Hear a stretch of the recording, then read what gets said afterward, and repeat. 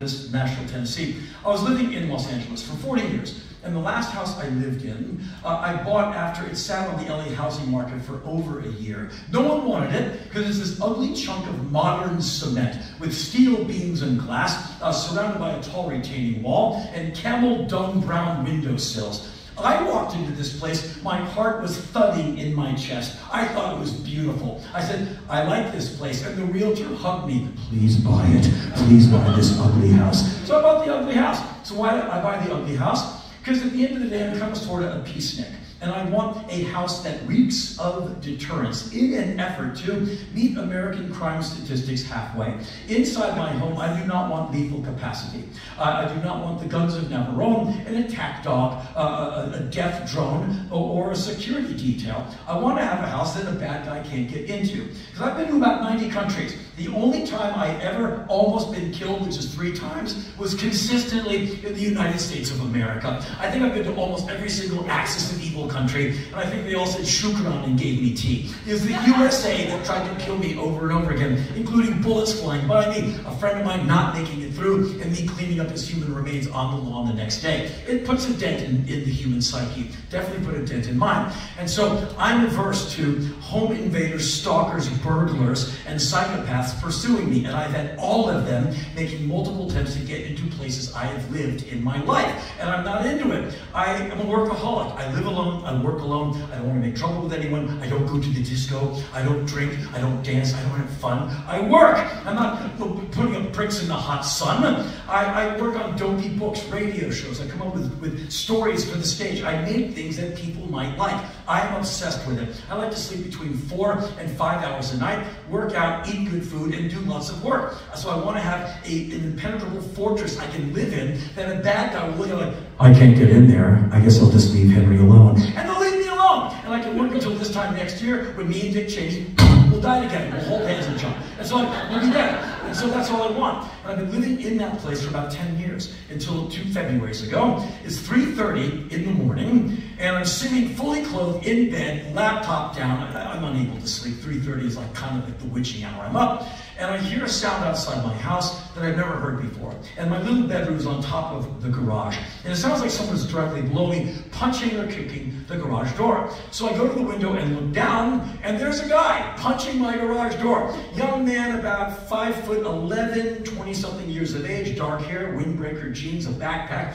Next to him, one hand has a cell phone, and the other hand has a fist, punching, casually punching my garage door. I feel my body flush cold, my heart rate accelerates because this is the sum total of my nightmare. I bought this house with a tall wall and a big gate to be left alone. And the guy somehow got over the wall, and then he's like punching my garage door, like, you can't get in. Like, what are you doing? So I realized I gotta call the cops. As I told you before, I want the century to end better than it began. And, and so I don't like cops, I don't hate cops, I'm terrified of cops. So, uh, they scare me. And so I need to call the cops. Why? Because if this guy's just a normal burglar, he's going to see very quickly he's not getting in. So what if he goes over the wall, hikes up the road, and breaks into my neighbor's house? And I know my next door neighbor, I've never met them, but I know there's two kids and two parents in there. What if they leave their back door open, the guy goes in there, and he hurts or kills someone? Like he, he kills the kids. In my opinion, that's on me, because I didn't warn the neighborhood there's a bad guy there. So I got to do something. And so, unfortunately for me, my cell phone does not get reception in the narrow canyon in which I live. So I run downstairs to grab the landline, and I'm about to call 911, and I look at this guy, and I notice that he's picked up his backpack. He's now at my front door, knocking politely and ringing the doorbell. Like, what are you doing? Hi, I'm a polite burglar. And so I call 911, and I got that typical 911 exchange. 911 with your mercy. Hi, my name is Henry. I live alone in this impenetrable fortress because I have this whole thing about meeting crime statistics halfway in the. Like, Sir, no need to overshare. Please tell me what's going on. There's a man knocking on my door. Did you invite him? Uh, no. Uh, I need to. I need you to uh, tell me exactly what he looks like. And I give I said, "Can you please send two of LA's finest uh, to pick this guy up?" Uh, sir, we're stretched rather thin tonight, as you know. Uh, women all over the city have guns now, and they're shooting right through bands, so this is bodies everywhere. So we're, we're throwing them in the trunk as best we can. We do the paperwork later. Uh, LAPD will be with you in the next 15 minutes to 15, 15 hours. And so uh, open the gate and just wait for the cops. And if anything escalates, please call back. And so I need to open the gate, which means I have to go through the door the guy's knocking on to go to the car to get the clicker. That's not an idea. So I go to the garage and I turn off the circuit that goes to the gate, and as a default, the gate opens. And so I know the gate is opening. I'll run back to the window to see the man's reaction to the gate opening, figuring if he's a bad guy, he'll conclude homeowner's up, 911's been called, LAPD's on the way, there's the gates opening, a clear way to get out. I don't want to go to jail, and he'll run. He doesn't run. He looks at the house for a minute, grabs his backpack, walks halfway down the driveway, and sits. I'm like, okay, you are really, really weird. You are interesting. And so, about 37 minutes after I call for LAPD, a single cop car comes slowly driving up the narrow canyon road. By the time I'm outside, uh, they have the young man facing the wall handcuffed. One cop is going through his pockets. The other cop is standing in front of the cop car waiting for the homeowner. Knowing that cops in Los Angeles are pretty tense all the time because people don't like them. I don't want to upset a cop and catch multiple 9mm slugs in my upper center mass just because I own a home. So I have my hands way over my head and I announce myself. Good morning, law enforcement. I am the homeowner. You have the right one handcuffed facing the wall. And the two cops see me and, they, they see uh, this old man in a white t-shirt with like abundant salsa stains all over his shirt, and they realize I'm not a threat to anyone. And I thought, I am unarmed, but whatever. Sir, please approach. You can put your hands down. Put in the down, going towards front pants pockets with nothing into a sadness, smidgen memory. Sir, no need to overshare. Please walk on. And so I'm looking at one cop in front of me. I'm looking to the cop on the side, and the cop on the side is like going through the man's pockets. And he pulls out what looks like a card, like an ID card. And he holds up the card up to the young man's face, and he says to the young man, So, it's okay in Finland to jump over someone's wall and knock on their front door at 3.30 in the morning? And, and the young man goes, No, it's not. So you think it's okay to do that in the United States of America? And the young man says, Henry invited me. I'm like, oh, oh, no, no, no, no, no, no. And both cops are going, hell no. So the cop in front of me goes, okay, I get it. Sir, you've got two options here. You can have the man arrested for trespassing. We'll take him downtown to the Twin Towers holding facility, and we'll put him in like a 24-hour hold. He'll probably be able to bond out sooner. That's really not our department. Or you can let him go with a warning, and we'll take him from your property and take him to any address uh, he desires. But we'll warn him. If you come back to the property, and you hop over the wall, and the homeowner calls us and we catch you, you will go to jail. So, uh, citizen, what do you want to do? And in an effort to make the uh, century end better than it began, it is incumbent upon me, in my opinion, to not screw up the life of a young person and understand that we humans are incredibly complex. And so, what if it is this first night uh, for this young man in the United States of America? And for the crime of hopping over my wall and knocking on an iron door, he is handcuffed and taken downtown and put into a large holding facility at Twin Towers downtown with like 150 really scary men.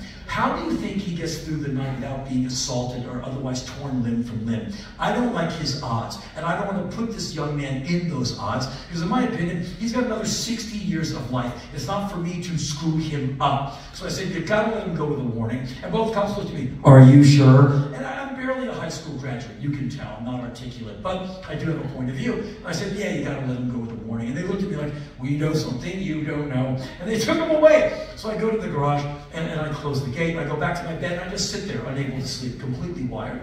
And so at 9.30 the next morning, I fall asleep. I'm fully clothed. My head lifts to the side. At 10.25, I'm awoken by the sound of my doorbell ringing. I'm like, really? And I look out the window, broad daylight. He's there with his backpack. Ding dong. I call the cops again. I'm like, hey, it's Henry, the overshare who called you at 0330. Is he back? He's back. And I asked for the cops to come and get him. Sir, I know stretch rather thin. It'll be between three hours and 45 days before you get here. And so I go downstairs with a landline in my pocket in case anything escalates, and I listen to the young man knocking on my door, hitting the doorbell. About three minutes of that, uh, suddenly there's silence about three minutes. The silence is broken by the sound of the young man who's now on the, uh, the third floor deck jumping up and down. There's one lonely deck chair the previous owner left, and he's smashing it on the ground. And I'm wondering, how did he get up there? My theory was he went over my wall across my front yard cement parking lot, up the stairs through a room that holds a water heater, slid down a clay tile roof. If you go that way, you fall to your death. But if you make a right and hop over a low retaining wall, voila, you're on the deck. Two ways into the house. You can try to get in uh, through a door that goes to my bedroom, and I've replaced the original door with a camel dung brown custom-made steel door that your friends in a stick of dynamite can't get through. But there's another room that holds gym equipment, and it has one pane of glass, like the brittle glass that you punch and it explodes. And I realized this guy can punch the glass, be in the room, down the stairs, and like strangling me to death next to my beloved turntable. So I realized I, if I hear the sound of glass breaking, I've got 30 to 60 seconds of fighting for my life. I'm in fairly good shape, but he's young and I'm old, so we know who's going to win. So I realized if I hear glass breaking, I've got like about a minute and I'm going to die, terrified, next to my turntable. And I, I can't believe I thought this. I thought I was a better person, but I'm not. And it's, it's embarrassing, but it's funny, so I have to tell you. The thing that occurred to me when I'm considering I'm going to die was, I don't want to be killed by a European. And I don't know, I have no idea where that comes from. I would love to say I'm not that guy, but I'm obviously that guy. Something from Finland, and I'm not trying to put down Finland. Finland is amazing. I love Scandinavia. But you get the idea of the Finnish people and like these loping Airbnbers going from like yoga class to a rave to strangulation. Like, well, I'm 20 something. I'm gonna like like like go into the house, and then I'm going to a party. And that's how I'm going to die. And so I'm going to die like choked out by a Finnish guy, dead, next to my turntable. And you're going to see, you know, angry men in lines going to used record stores with the entirety of my recorded catalog. Like, why are you trading those, those records in? Because Henry Rollins is dead. No, no, you, you need to be playing them in a tribute. I can't do that, man. Why? Because he was killed by a Finnish guy. what does that mean? He died like a little bitch. Here, you can have him. That's how I'm going to do. it. I'm like, did I just think that? I think I did. And so luckily for me, uh, the young man abandons his pursuit of getting in through the glass, and three minutes of silence later, he's back at my front door, knocking and ringing. I run to the garage, I disengage the circuit, the gates open, I go up to my bedroom window and look for him, and he's gone. And so about 45 minutes later, two cop cars come roaring up my driveway, four cops get out, guns drawn, super intense, and they do that thing, clear, clear, clear. I'm now looking down at them as they're looking up at me because I'm now on that deck looking down. I've got my hands way over my head. Good morning, law enforcement. I am the homeowner. I am unarmed. Like, sir, you can put your hands down. Not wanting to argue with you, but you can literally not see below my belt line because of the height of the retaining wall, which means you have no idea what is going on in my pants right now. that did not land the way I wanted it to when I'm trying to impart to officers is that I am unarmed, but you can't tell. So for our combined safety, how about you allow me to keep reaching for the sky? That's that's permissible. And so I said, I'm sorry you didn't get him. He was here. I wouldn't dare send you on a fool's errand. And to their credit, they believed me. Sir, you did the right thing. If you see the man on or near your property, you do not touch this man. You do not engage with this man. You do not talk to this man. You call 911. We'll show up and we'll get him. Got a citizen? Got an officer. All right then. You have a great American goddamn day. And they leave. And I close the garage doors, and I'm now standing in my living room, like, what do I do for the rest of the day? It was immediately obvious. I must prepare myself and my home for invasion. And so I need a command center, which will be the living room. This is a really couch. And there's a table where one can plot and plan for invasion. So I need gear to be ready for invasion. And so my gear was a bottle of water to remain hydrated for night two of no sleep, a flashlight to do three times on the hour perimeter checks, and my laptop. And so why would I need a laptop when I should be sitting silently, Chuck Norris ready, waiting to hear the sound of breaking glass or a sliding glass door, and then asphyxiation? Uh, why? And this is pathetic, but it's true, so I have to tell you. Uh, the older I get, the more I hurtle towards death, the more important it is for me to win every single thing I'm bidding on on eBay. Because at stage and station in my life, if I don't win the thing, there's a very good chance I may never have the chance to hold it in my grimy mitt. And after 20 some years of bidding aggressively and emotionally on eBay, I now find out that I've been bidding against the same four loser men for over 20 years. We are five men with no lives. We have this ridiculous idea that if we buy every iteration of every seven-inch record ever pressed by the damned, the Grim Reaper will give us a pass just because our record collection is so awesome. We are so sad and so pathetic. We think if we buy records from our youth, a bunch of them, that somehow we'll reconnect with those great times when Reagan ruled the land. And so we are pathetic and we hate each other's guts because we have been winning and losing against each other for decades. And we all know who the other one is, and we all have dreams of the other one's record collection exploding into flame and their record collection turning into this flaming river of vinyl going down the street, down into a sewer. So they hate me and I hate them. And so even if I'm being choked to death, I will go to my side and hit bid and I'll win.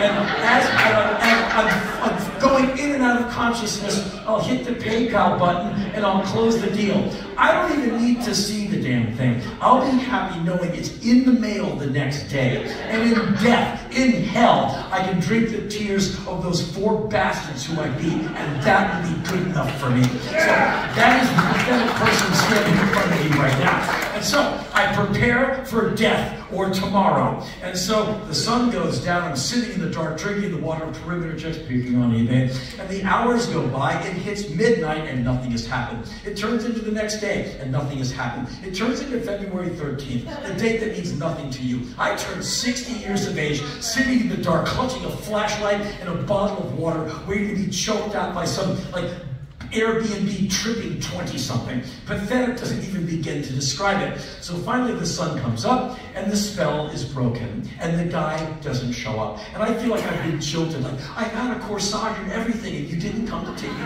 to uh, the prom. I, I wonder, what did I do to this guy to, to, to alienate him?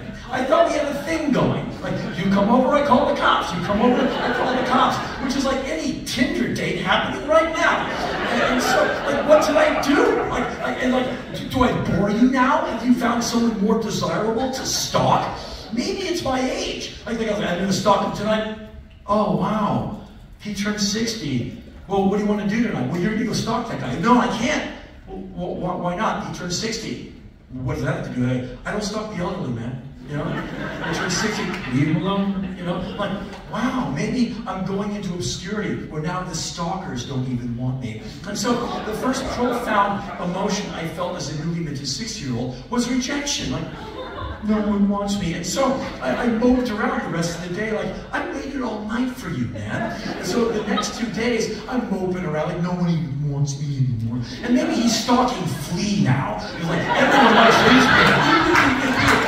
I'm eating weird food that's been living in the bottom of the freezer, falling asleep while I'm making coffee, trying to remain vigilant. And so I'm sick of it. I'm sick of being incarcerated in my house. So I said, I'm done. I'm out of here. I got to go do something and get back to normal. And so I should have gone to the grocery store because there's like nothing left in the house except like one like rock hard Clif bar from like 1428. So I decided I'm going to do something I don't need to do just to show my defiance to Finland and anyone. And so I call my pal Sam, who's a professional framer. I call him at like 12:45 in the afternoon. Sam, it's your pal Henry. I'd like to drop off an ancient punk rock poster for you to archivally frame. And he said, uh, do it when you want to come over. I said, 1 p.m., like, in, like in, in 17 minutes. He went, do it, hit the buzzer, I'll know it's you, I'll let you in. And so I grabbed my, my wallet, my car keys, my cell phone, the poster. I go to every window in the house and I look for the guy. He's, he's not around. And so I lock up the house, I run to my car, I drive to Sam's, I hit the buzzer at 1 p.m. He lets me in, and we're looking at this poster. We're about one minute, two minutes into that, when my leg is vibrating because of the cell phone. I pull it out, it says the dreaded word. Heidi. I'm like, oh no, I'm gonna get yelled at. So I hit the phone. Henry, where are you right now? I'm with Sam. We're looking at a poster. Henry, ADT just called. As you know, ADT is the alarm company, and many, many years ago, since Heidi runs my life, she brought ADT into what was now the new house to adorn it with bells and whistles and sensors and alarms. So when window number six rattles, sensor number nine activates, and, uh, and the alarm company has to call someone responsible. And that's why they never call me. They call Heidi. And like, I put my number on there, but ADT said, can we just call you? Because he's an idiot. And so uh, every once in a while, a window would rattle, a sensor would go off, and they call Heidi, like, it's sensor number nine. Oh, it's that window. It always rattles when the Santa Anas come rolling through LA. Just dismiss. And so on this day, again, they called Heidi. Henry, ADT just called. The motion detector in your living room has just been activated. The house is alarmed. LAPD is on the way. The guy is in your house. What are you going to do? I said, no problem. I'm going to get in my car, go back to the house, go into the house, and deal with this guy as a total improv. And she gets very angry. Henry, no! You'll kill him! Henry, no! Kill him! As she tells me again and again and again. I can work with this because, as I told you before, I think almost everything is funny, including a man inside my living room. And I love having Heidi in this position where she's unstable and open to suggestion and easily made angry. Heidi, I never would have thought of killing him until you told me to. until you commanded me to kill him, Heidi. Heidi, I will kill, I will kill. I love it. And so I put the phone away. I go, Sam, I gotta go. He's this guy here. I know. I got a stalker. He's like, oh, that's awful. I go, well, we'll see. So look, Sam, uh, he's in my house. He's in your house? And what are you gonna do? I'm gonna go there right now and see what happens. Oh, no, no, no, no, no, no, no. You don't talk to these people. You don't touch these people. You call 911 and you let LAPD handle this. I said, you know, Sam, A, thank you for your concern. B, I heard that from a uniformed professional a couple of days ago. However, I'm done with waiting for LAPD to show up and fix my little problems. So I'm going to leave today, Sam, right now. And one of two things is going to happen in the next half hour or so. I might call you in an attempt to reschedule this appointment, and you might see me later today if you can fit me in, walking into your shop covered with drying uh, human blood, bits of brain matter, and bits of skull tissue, which means I have prevailed. Or you may never see or hear from me again. And don't worry, I'm not ghosting you, bro. It means I've been killed. And Sam is like, Henry, don't die! Like, I'm not planning on dying. I've got a lot of plans. But look, humans are watery sacks of recessive traits and neuroses. And I think we've been comporting ourselves horribly for the, at least the last several centuries. I think all the gratuitous anger we extol upon each other via the internet and otherwise is not the way to go. And so uh, I know that I am easy to kill. And it doesn't matter how much beef jerky I eat, I'm a very killable thing. Human life is fragile. And so my life is fragile. And so I might get killed in the next 15 minutes. And, Henry, don't die! I don't want to die. So look, Sam, I very well could be dead within an hour. And if that happens, if you don't hear from me ever again, Sam, please keep the post. He's like, what? What am I going to do with it, Sam? Like, well, what do I do with it? You're a framer. Frame it. What do I do? You frame it and you put it against that wall as a tribute. And underneath uh, the framed poster, you put a small shelf. A shelf, yeah. Because in two weeks, you're going to call your friend Heidi May and have her bring you an amber plastic pill bottle full of my ashen remains. And you put that on the shelf. Why that? Because it becomes a curiosity and it draws people into your shop. And they're going to pick it up and say, Sam, what is this? Well, what am I saying? Here's what you say. You say, hey, put that up to your ear and shake it. And they'll say, what is it? And you're going to say, that's the ashen remains of Henry Rollins at Black Flag. And they'll go, ah, ah.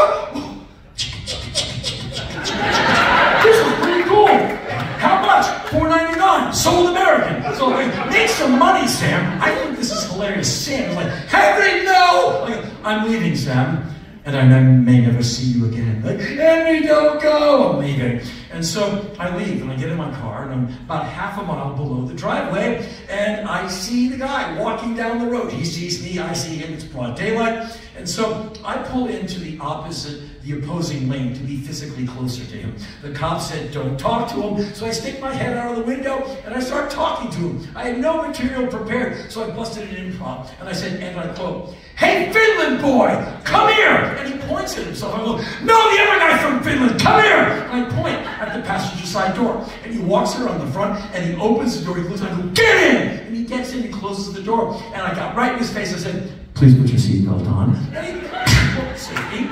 So we're driving up the road. 20 20 seconds out from the driveway. I need a plan. Here's the plan. We'll pull into the driveway. I'll hit the clicker. The gate will open. I'll make a U-turn to my cement front yard parking lot, stand outside of the car on the passenger side, keep my eye on him, and wait for law enforcement. And so we're driving up the road, and I realize I have not said anything to this guy for like three or four seconds beyond the directive which he obeyed. I must reward good behavior. And so I come from the service industry. Everyone has to have a good time if I'm around. So I put a big fake smile on my face, and I try, attempt to make low impact Uber talk with this guy. So he says, So, you broke into my house. And he went, Yes. And that's all he says. I'm like, I'll rephrase. You broke into my house. And he looks at me, he's like, Are you hard of hearing? I'm like, not, not today, son.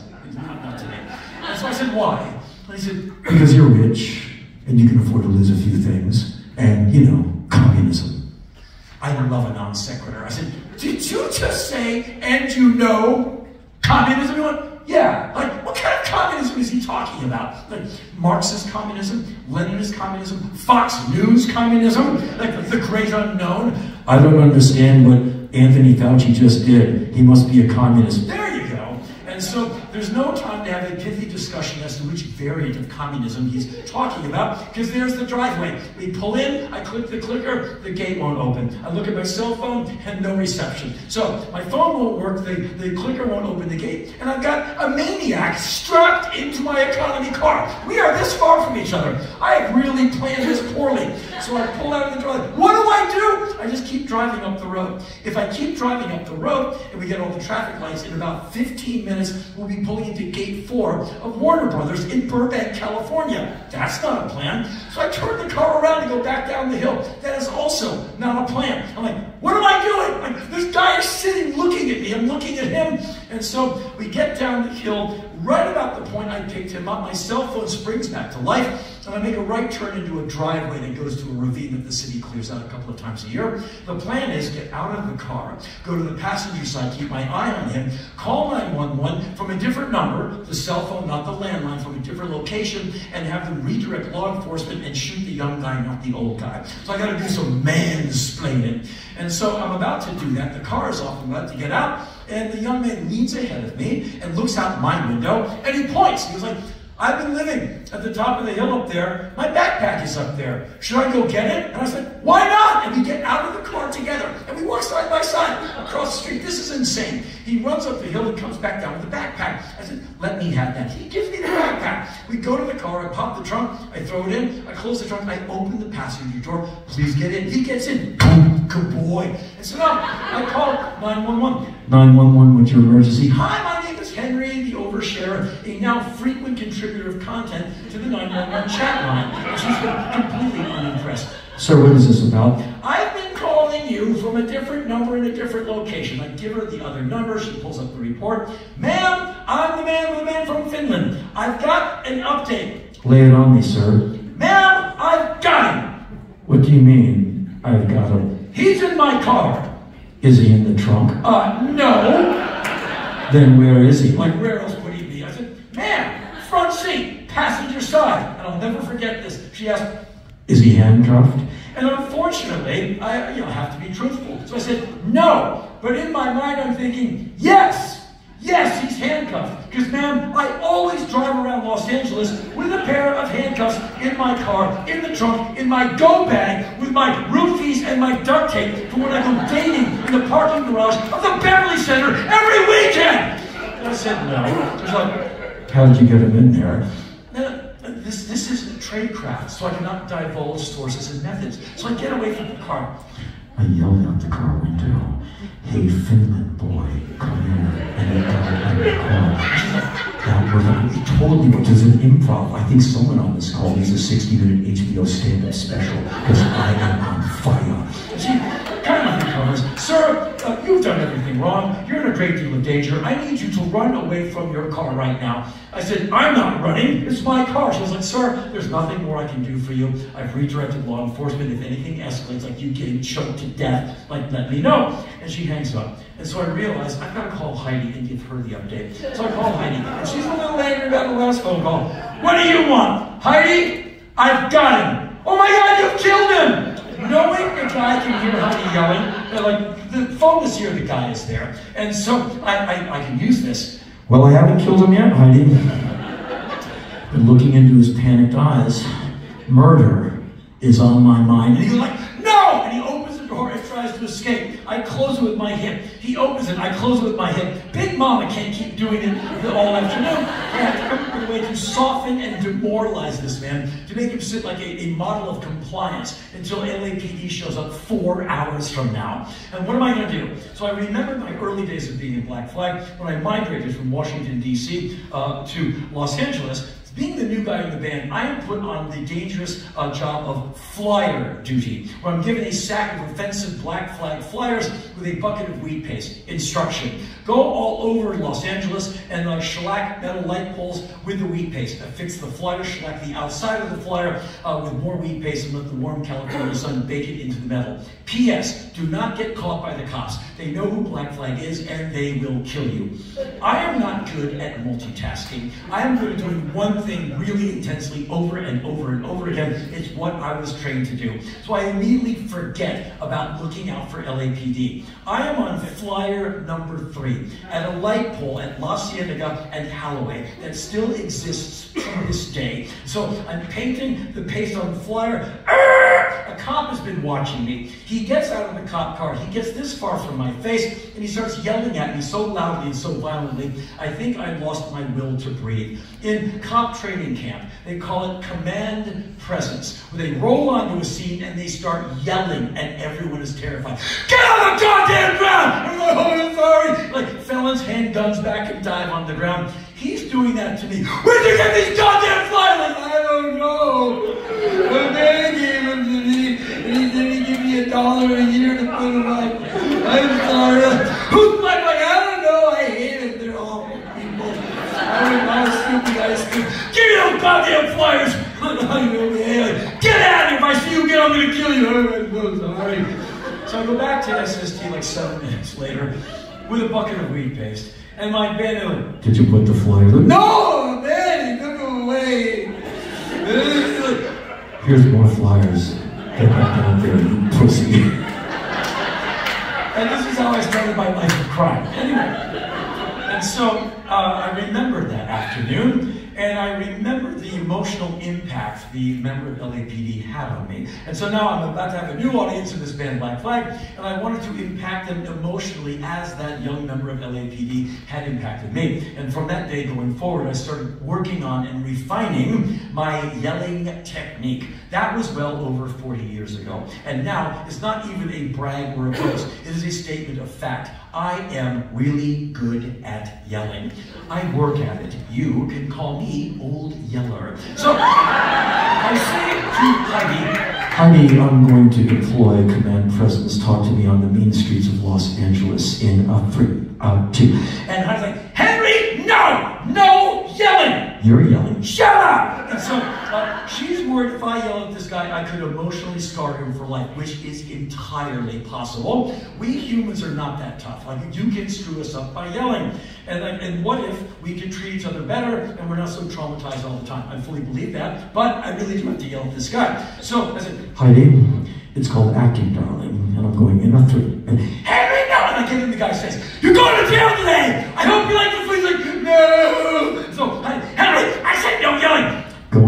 Take two, three. Henry, no! In the middle of, no! The cell phone cut off. To this day, Heidi insists that I hung up on her. I did not. The canyon wall cut the phone off, but the comedic timing was such that she thinks I did it on purpose. I was like, wow, that was luck. I put the phone away, I turned to yell at the guy, He's gone. He's gone. He's moved to the driver's side in an effort to get out of the driver's side door. In a tribute to the Benny Hill show, I go into the car to chase him through it.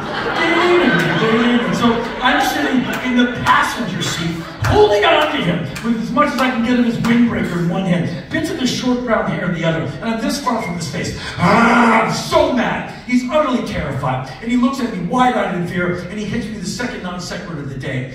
You're just like John Gotti. Like, what does that even mean? pondering that, he snaps his arm and moves his neck, and he opens the door, and I think he's gonna make a left and a left and go to the trunk, open it, grab his backpack, and I'm stunned, which means since I have the key fob in my right rear pocket, I must escape out of the uh, passenger door and run away to be out of proximity of the effectiveness of the key fob. If I'm too close to the car, the car will think that he is me and give him access. And so he falls out of one side, I fall out of the other, and at that moment, we look like a typical male homosexual couple in Los Angeles, breaking up for real this time. The old man with the connection to the money, the young man with the looks and the stamina, it is over. And this probably happens all over Los Angeles. Uh, the young and the old breaking up out of like Lamborghinis and Porsches, but we're breaking up out of a Mazda 6. And so he runs to the trunk, I run that way, and by the time he gets to the trunk, I'm way over yonder. And so he goes to the trunk, it won't open. He's, he's smart. He figures like, give me my backpack. And his voice is really deep. I'm like, uh-oh, we're going to fight, and this is going to end very badly for me.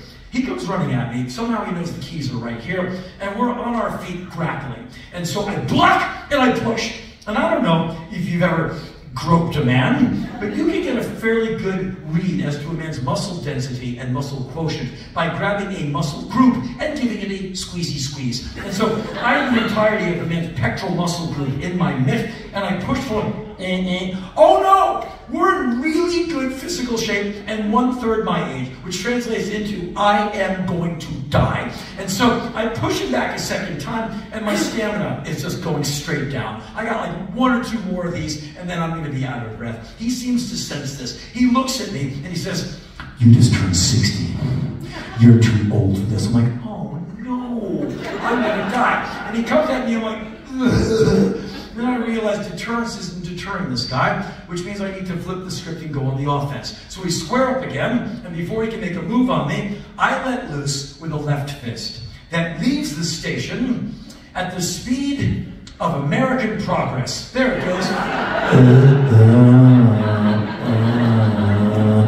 I don't know if people in bars in this beautiful part of Connecticut fight, but maybe you've seen two idiot men who can't fight actually fight, and the punches take about a day and a half to finally arrive. One, one thousand, two, one thousand, three.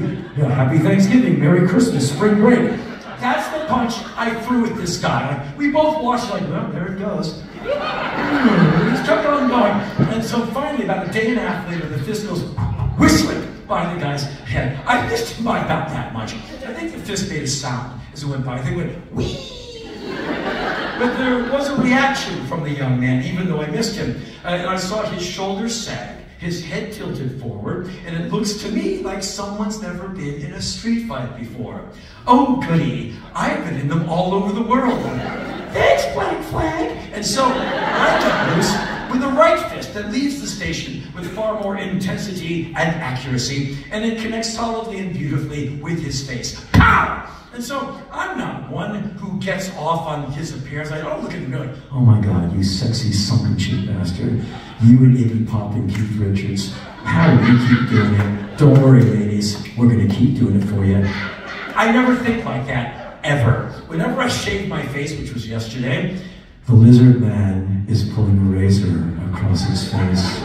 If the lizard man does not shave every other day, bright white bristles explode violently from his face, and he looks like your weird uncle who eats squirrels in the park. And so I'm not high on my own supply, but great once in a while, like when the cicadas come out. For like one nanosecond, I am absolutely smitten with myself. And that happened on that moment. Oh, so indie right now. The old man just knocked the crap out of the young man. Oh, you still got it. And so I'm looking at this guy. He's looking at me, and for the first time that afternoon, I realize he is wearing a blue mask. I touch my face. I am wearing a mask. So think about this. We are not social distancing. We are not washing our hands between physical encounters, but we are both observing basic COVID protocols. Do you understand what this means? It means that this is officially the lamest fight in the history of Southern California. Two lame So what are the ground rules? Well, fight to the death is going to happen. But potentially spreading a virus that informs a global pandemic is frowned upon. So that's not going to happen. So you might die of asphyxiation, but not the spread of a virus because, hey, we got to draw the line somewhere. And so we're these two idiots, like, like we're both at it, but like our, our masks like wineskins. And I'm looking at this young man, he's looking at me, and I see a trickle of blood coming from underneath his mask going down to the collar of his shirt. I'm transfixed watching his progress. And the guy sees me looking at something, and he touches his neck, he sees the blood, and he looks at me and he says, you're smiling. How did he know? I had a mask across my face. How did he know? My eyes were all scrunched up. I didn't say anything because he totally busted me. I was smiling so hard my entire head hurt. And so I realized I, I didn't knock him out. There's no way some 60 year old man fist is going to stop the youth of today and he's going to kill me. I'm like, well, here we go. Here comes death. And at that moment, two cop cars pull up, four cops get out, and they run across the road and they surround us. What the hell's going on here? And they take the young man across the street and they're questioning him. Two cops are questioning me. At one point, one of the cops yells at the two cops with me, Hey, our guy says your guy attacked him. I'm so mad at this point. I yell from across the road at the guy, Shut up! The two cops and me already kind of sort of digging my action because I bloodied up a young man, but now they see I rock command presence like a pro, fist bumps all around. So I've got, I've got friends at the LAPD now. So I open the trunk, I give him the backpack as his evidence. Uh, the two cops take young man away. The two cops be going, okay, we got to get in our cars, go to your house, make sure there's no one else in there, and do the damage report. I said, okay, follow me. And we go to the driveway, I hit the clicker, and again, the gate won't open. So I find the lowest part of the retaining wall, I hop over, and I go down to the bottom of the driveway because I see something amiss. There's a little metal box at the end of the driveway that corresponds to the clicker. Inside the box, like bells and whistles and, and little light bulbs. The guy had opened up the box and ripped all the wires out. And that's why the gate won't open because he basically broke it. Which means I am faced with opening these two massive custom steel gate doors with my bare hand. So as a joke, I put my palm against one of the doors and walk forward. It opens with no resistance whatsoever, making my gate a perfect metaphor for Hollywood. It's just mere artifice. I have the illusion of safety. The reality is, your annoying nine-year-old nephew can stand on the street side and pull the gates open with his bare hands like, eh, come on in, Vikings, pillage! And so the cops see me opening this massive steel door with my palm. They're fist bumping inside the car. They totally dig me now. So now we're in the house walking down the narrow hallway that goes from the living room this way, up the stairs to the bedroom, and the gymnasium room that way. We see glass coming down like a trail down the stairs, going into the living room, and the glass stops where the carpet starts. And the cops go, check all the windows. I go, you don't need to. Here's what happened. He went from the street over the wall, across the parking lot, up the stairs, through a room, down a roof, over a wall, across the deck, through a plate glass window, through a room, down the stairs, to where the carpet is. And the motion detector, that red light, picked him up. U-turn when the house is alarming, up the stairs, through a room, on a deck, up a roof, through a room, down the stairs, over the wall. And I engaged with him a couple of minutes later. The cops like, how'd you do that? I, go, I live alone, I talk out loud, like all the time. Want to see a lot of glass? Come with me. I have, I have, a theory. And we went into the gym room, and there's a cinder block in the middle of the room, which I've never seen on the property before. Maybe he brought it from home. And so uh, that's how he got in. And so we figure there's no one else in the house. So we inspect the third floor, which is the only place he had any time to do anything. And on that floor of the house are a lot of rare punk rock items. Uh, things like rare original punk rock artwork of records that you might have. He took some of the coolest stuff I've ever seen as a punk rock collector guy, and he smashed it to pieces, which kind of sucks. And so he broke my gate, he broke my window, he broke my stuff, and I probably have to get a lawyer. So I don't like this guy much anymore. So the cops and I are now in the kitchen. I'm answering the questions. They give me a version of the report, and I put it on the kitchen table, and I'm walking the two cops to the front door to let them out. And the older of the two cops squints and stares at me. And I know that, that expression. I've been recognized. The penny has dropped, and he explodes. Dude! Oh, dude, no way! Dude!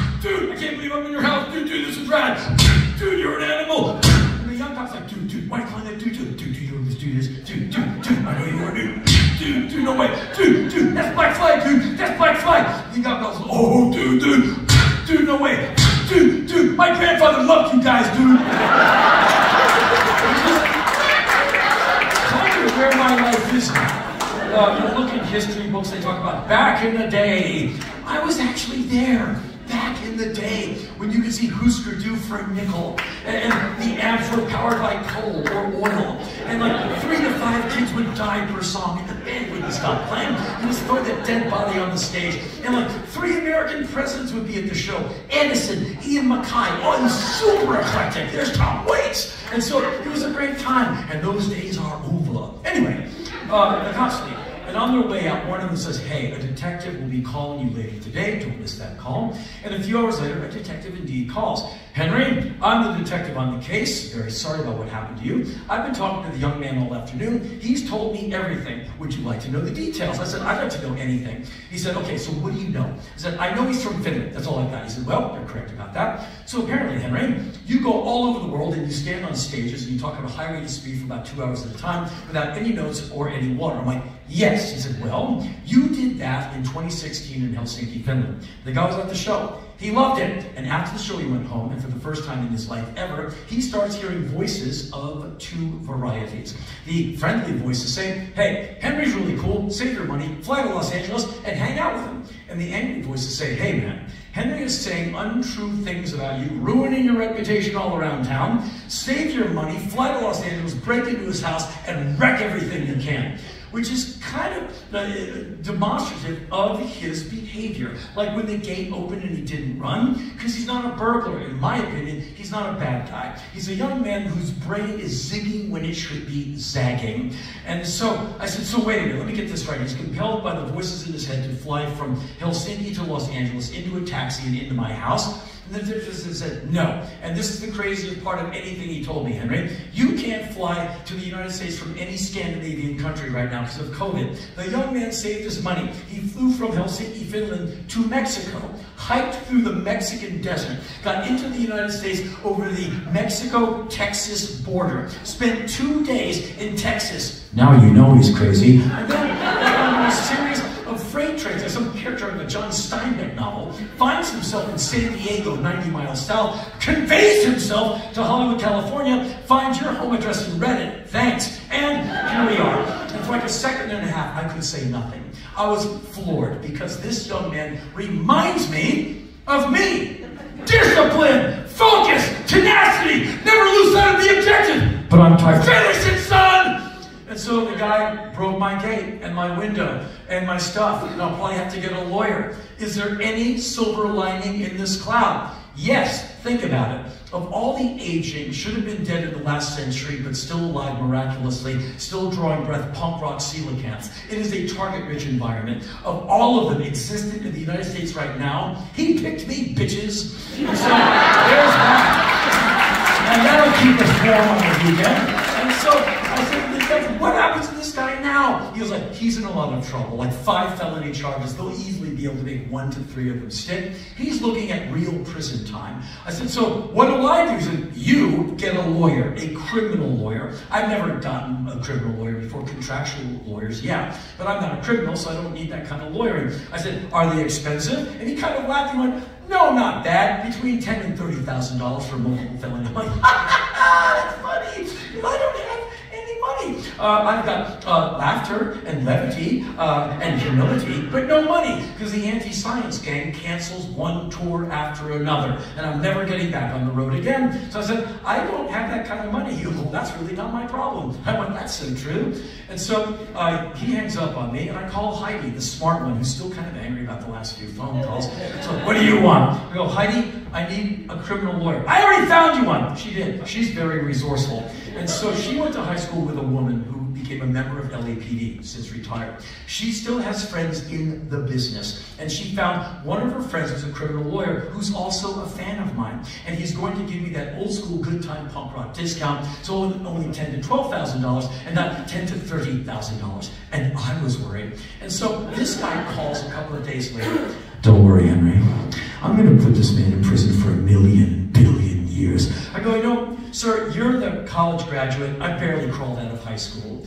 Um, it, could it be that someone maybe doesn't need to go to prison, even though it's a multiple felony charge? I understand the seriousness of it, but maybe in this century we are going to uh, reconcile ourselves to the fact that humans are infinitely complex creatures, and maybe punishment is not what is required every single time someone breaks what is considered a law. Because if you put this young man into prison for over a decade, even if he gets out with good behavior after six years, he will be psychically destroyed for the rest of his life. Maybe he needs care and supervision and pharmaceutical drugs and housing and like experts to make sure he doesn't hear voices in his head anymore. Or maybe we are throwing people into the prison system who need care and they're not criminals, but they did break the law. And I just hear the silence on the other end as like my lawyer concludes, my client's a pussy. well, we'll take that under advisement, I gotta go. And so he.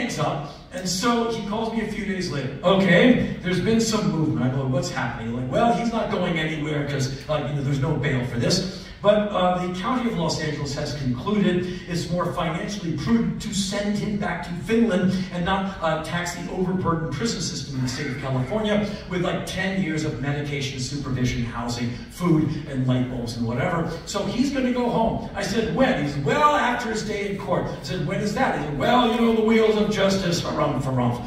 The young man spends 46 days in the psych ward of Twin Towers in downtown Los Angeles, waiting for his day in court. He finally gets his day in court. The detective is there, his lawyer is there, my lawyer is there. The mom has been located in Finland. She's a lawyer. She has flown to the United States via the Finnish consulate. So now this has international intrigue.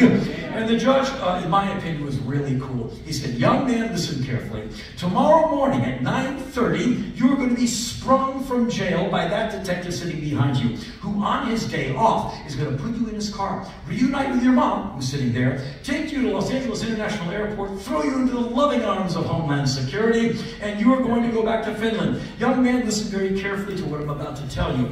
If you darken the doorway of LA County or anywhere in the United States in the next 10 years, we will be flagging all of your flights. We will arrest you as soon as you put one foot into any USA airport and you will report promptly to prison in California and do the entirety of your sentence. Son, you will not like the California prison system. It's something like the summer camp of jail you've been prancing about in for the last month and a half. Son, listen, you never want to see this face again. You get it? And the young man said, yes. Now, this is why I like this judge. He said, young man, you got your life ahead of you, so I'm going to say all of this again. And he read the whole thing one more time so this young man really gets it and doesn't screw his life up by coming back to the United States and getting incarcerated. And so apparently the young man got it. And the next day, uh, mom and, and kid are thrown into the loving arms of Homeland Security onto a plane and back to Finland. And so in the days afterwards, I paid for a lawyer and gate guy and window guy and Sam to repair the artwork, but sadly didn't come back 100%. I think it is vulgar and juvenile to protest to a wonderful audience about how much you paid for something. The cost was exorbitant, and it sucked, but I paid in full, as you do, and I just kept on going. Like, what else are you gonna do? And so I was angry at this guy for at least three days, and then my anger quickly evaporated as I, as I kind of cooled off. And then I started thinking about him in a completely different way. And the more I thought about him, the more I saw he was a very small part of a very big problem. And I'm not saying I diminished his life. I'm just saying he is one of millions and millions of people all over the world who suffer from some strain of mental illness. Then I thought about that in the United States of America.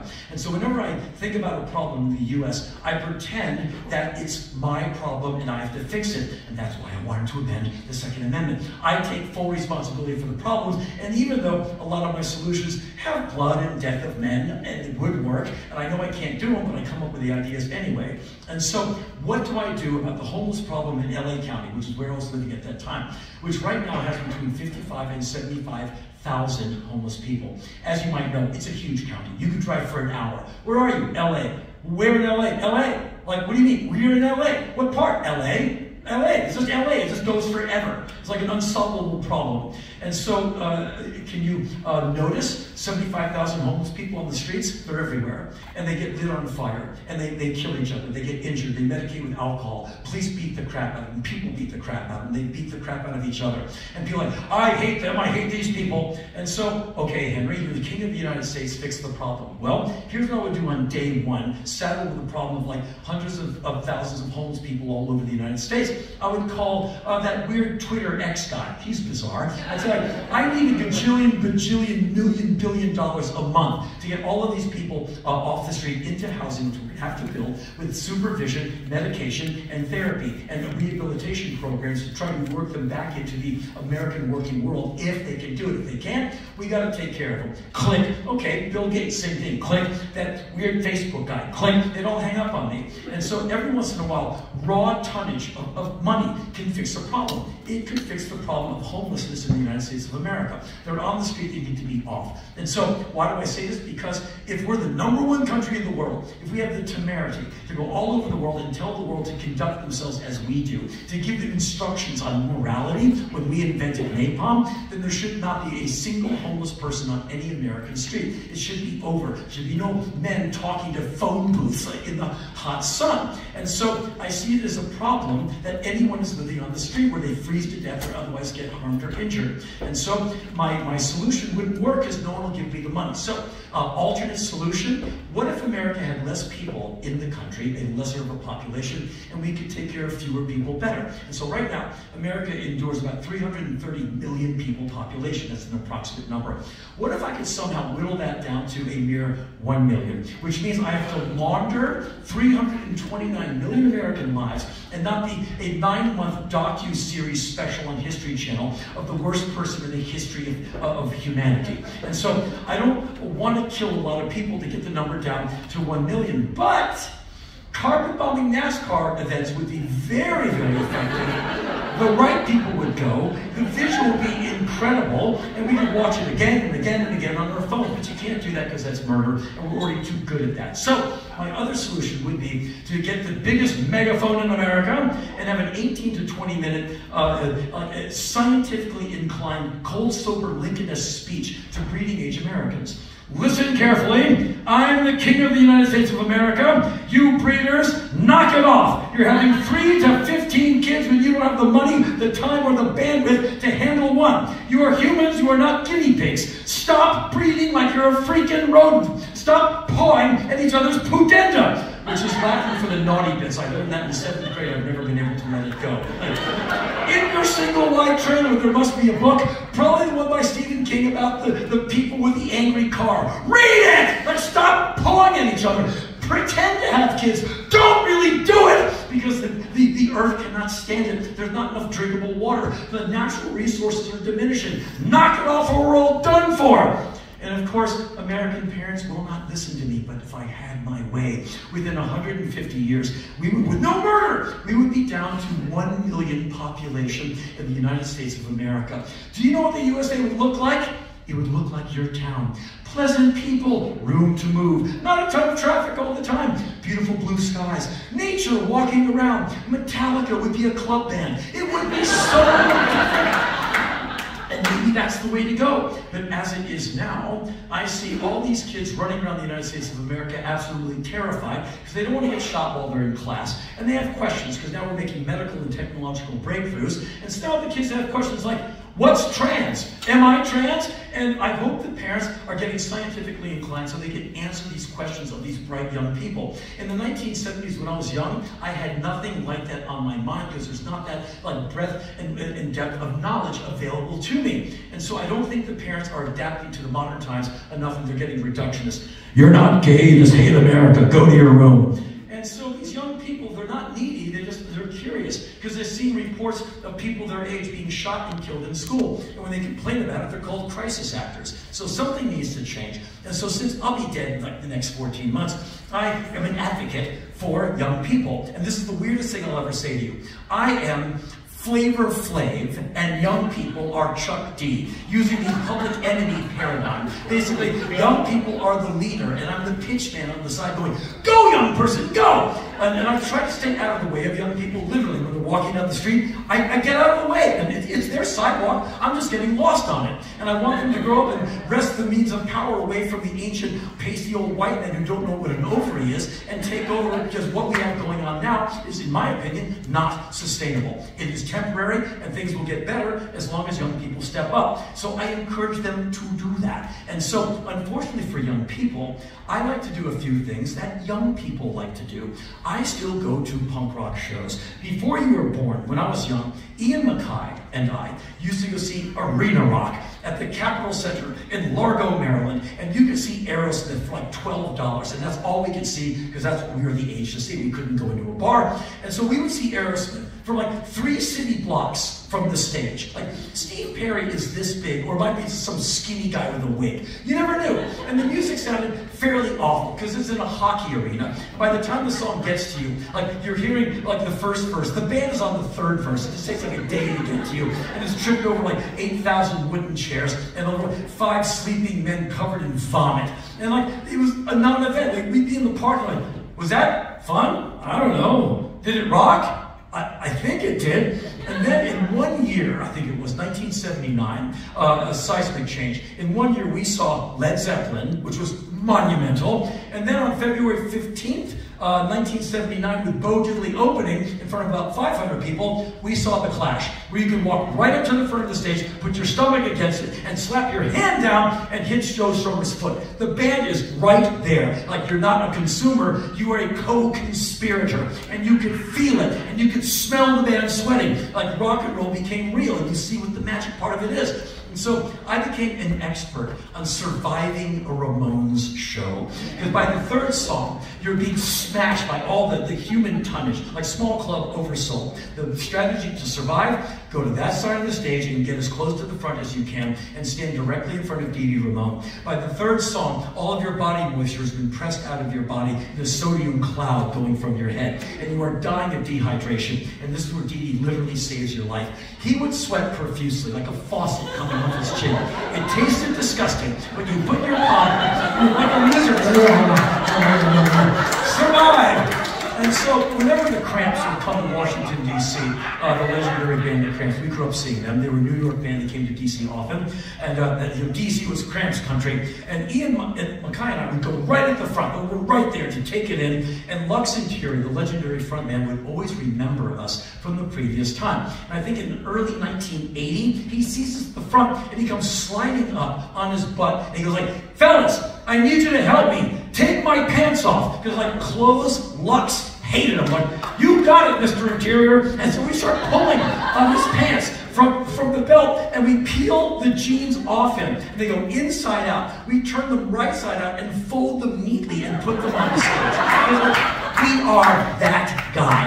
And so, after going to enough house parties where I'm standing in the living room and watching the Bad Brains play next to a couch and a television, after going to a house party on December 13, 1980 at 1226 Calvert Street, and in a living room watching some band called Minor Threat do their first ever show, I have never recovered. And so now that I'm 62, I'm the oldest person in the building when a band plays. And I think it's hilarious. So I stay out of the way of young people for two reasons. I don't want a young person running by me into my pelvis and breaking it. So no, no, no broken pelvis the young whippersnapper. And I don't want a young person to see some old person screwing up the skyline. And so I stand at the back and I, I, I surveil the show like it's a covert operation. Yet young punk rock men can find me. And I think there's some application you can get from the Apple Store. The Find the Aging Punk Rock Coelacanth we thought had died in the last century, but still miraculously still draws breath, the locator app. And so if you put it on your phone for $1.99 and you hit the, the phone and you listen to the tone. Go, go, tracking, go, locate. And these young men come through the dark and they find them. Dude, dude, oh dude, no way, I thought you'd be taller. Thanks. I always say, I blame the Ritalin. They never get it. But dude, you're alive. Yeah? Dude, can we do a photo? Who am I to say no? Dude, don't move. Even I can do that. Dude, thanks, dude, keep living. Thank you. And they leave. And this happens one to 15 times per show. Because like the rumor some aging punk rock dinosaur is in the venue goes viral. And like two songs later, boom, and I'm already ready. Yes, I'm still alive and short and ready for a photo. Dude, you're a mind reader. Sure. And this happens over and over and over again. Every dozen shows or so, a female approaches, and it's kind of the same, but it's radically different. The female comes out of the darkness like a dream. Excuse me. Mr. Rollins. And I always say the same thing, think it's going to be funny, and it never is. I always, I always reply, "Are you calling me Mister because I'm old?" Yes. Like, ow, damn. I was like walking into a door. Like, did that hurt? Like, Can we do a photo? who am I to say no, young lady? And so um, she takes a moment to line up the shot. She looks around and finds some ambient light in the venue to line up cheekbone, jawline, you know, eye, nose, hair. It all has to be perfect. She's like, okay, yep, and there it is. Got it. Time to get the phone.